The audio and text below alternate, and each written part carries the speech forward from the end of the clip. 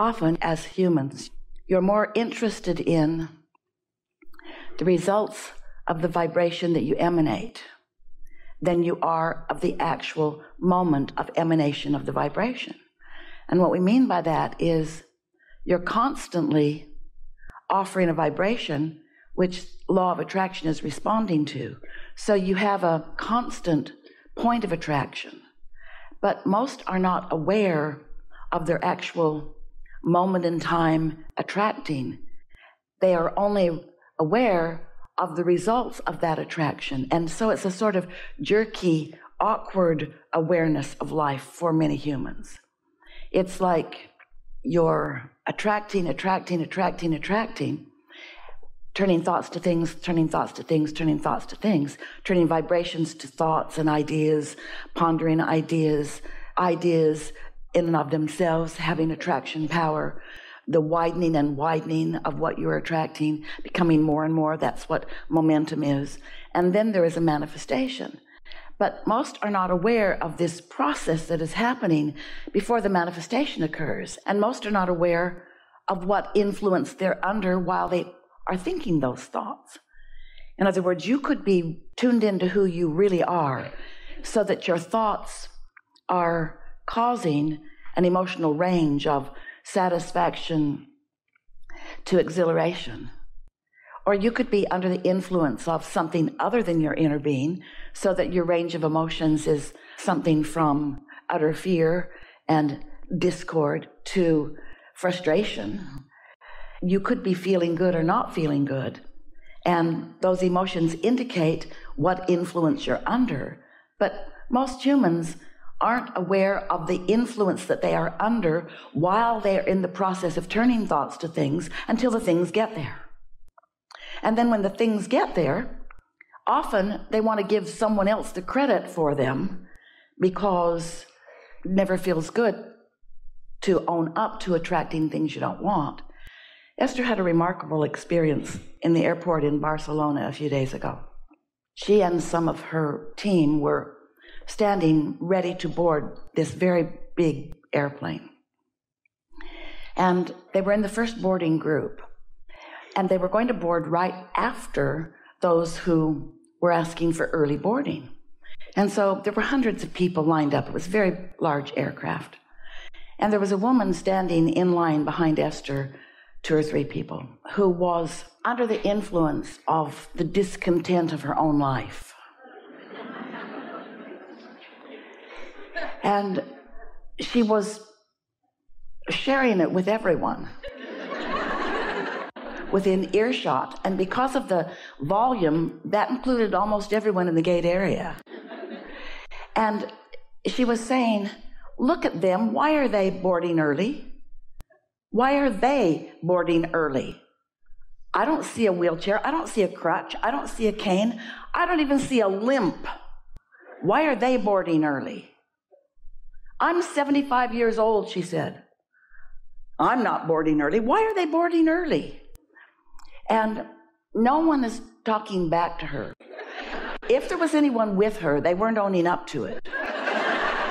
And Esther, who's usually cordial and willing to talk with anyone, was thinking, I'm not with her, I'm not with her, I'm not with her. Everyone was sort of feeling that way. And so this went on for a long time. It was a long, long pre boarding time. And it was making this woman so unhappy. And then, as Esther's walking down the jetway to the plane, she could still hear that woman complaining behind her, talking to whoever. And then when she got on the aircraft, they were settling in. It was a big cabin about 40 minutes before takeoff. And she told every flight attendant who came near her how unjust she thought that was. And Esther's been listening to us for a long while. Some of you have too. But it was the first time that Esther really had a visual awareness of what we mean when we say, when you are spewing your discontent, what you want can't come back. When you're unhappy, happiness can't come to you. You're blocking it. If you feel disadvantaged, then good breaks can't come to you. You're blocking them.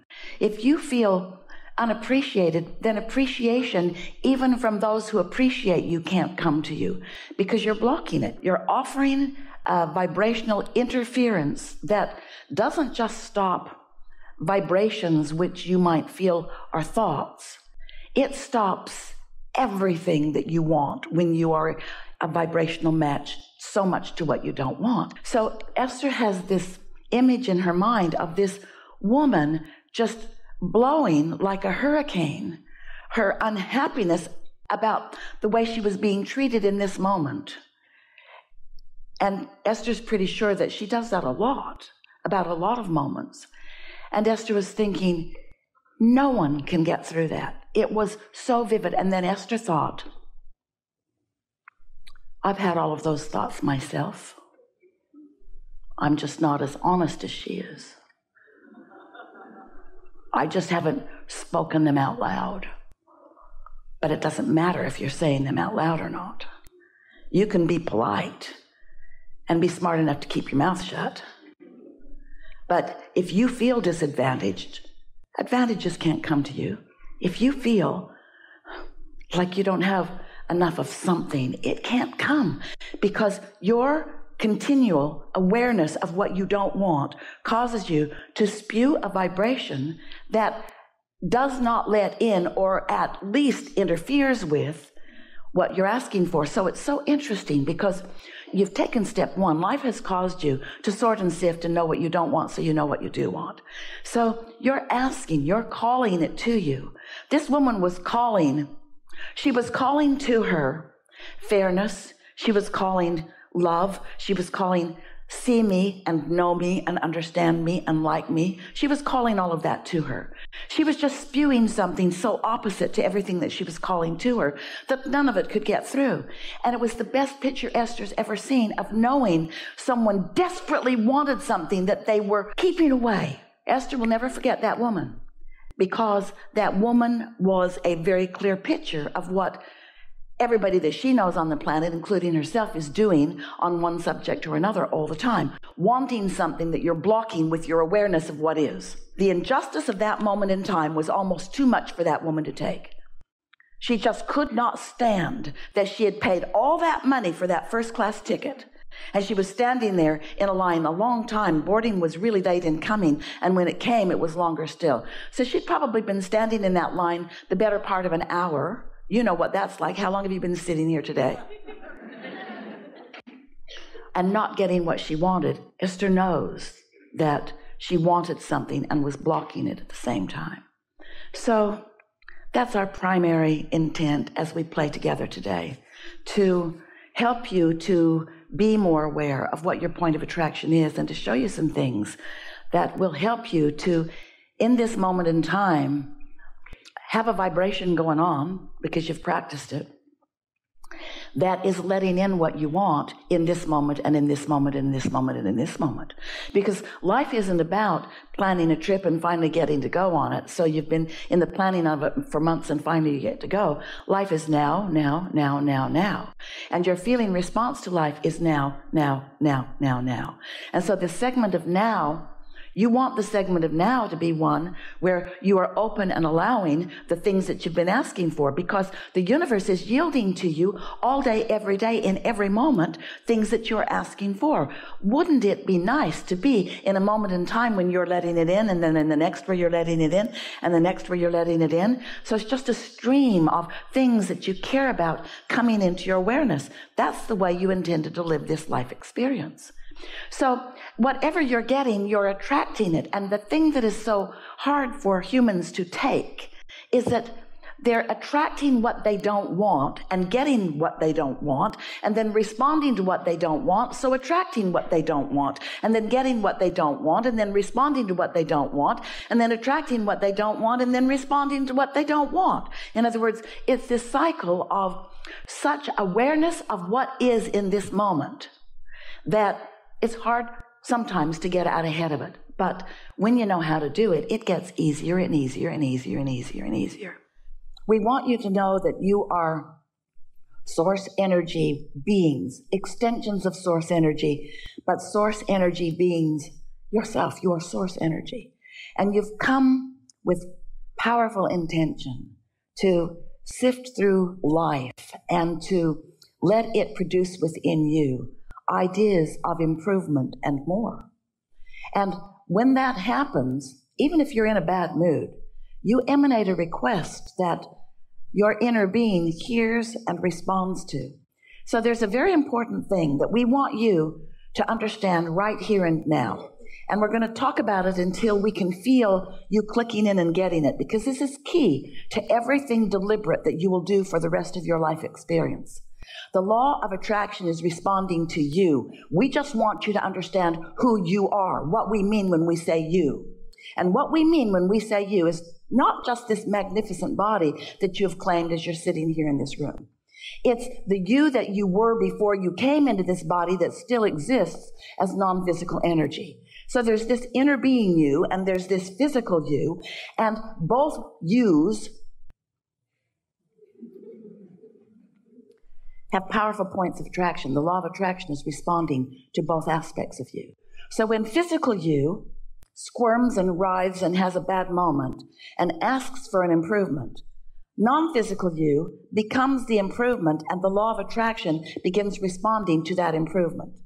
When you ask, it is given. Someone should write a book. when you ask, it is given. It's given, it's given, and it's received by that non physical part of you. The question is, are you in sync with the non physical part of you? And the answer is sometimes, but not usually. Could be a lot more. Are you in sync with your inner being? How would I know if I am? I feel great. I feel eager. I feel love. I feel sure. I feel well being. I feel clarity. I feel eagerness. But if I'm not in sync while I'm in my human form, then I feel irritation. I feel some distress. I feel annoyance. I feel blame or guilt or fear or hatred or something like that. So you have two points of attraction potentially. We're wanting you to make it into one. We're wanting you to move yourself deliberately into vibrational sync or alignment or allowing with your inner being so that you can experience the benefit of that point of attraction.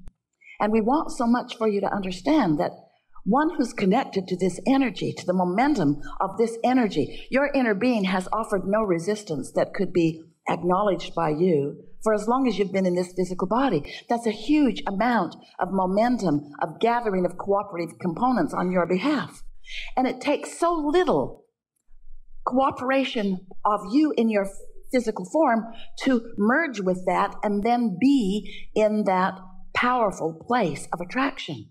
Oh, the awesome power of non resistant thought. That's what we're talking about. That's where your inner being is all the time. But when your inner being is standing in that awesome place of non resistant thought and calling to you because you said you wanted it, all those things that you're asking for, and you're standing in discord with that, it makes you scream to the boundaries of the universe. Not fair, unjust. Why is that happening to me? Why am I not getting what I've been asking for? Because you keep doing that. Because you keep noticing what is already manifested instead of feeling the vibration of what's underway. Instead of knowing what your inner being knows about what you've asked for, you're taking score of the manifestation. So what we're talking about here is we want you to get out ahead of that, get out ahead of that by letting yourself feel the way your inner being feels about where you stand in relationship to that. We would like so much if you could get a sense in your mind of the coming together of the things that matter to you. And you would feel an appreciation and a certainness and a sureness and a I'm being seen and I am loved and I'm being tended to and all is well. Because if you can accomplish those feelings, then you join vibration with your inner being.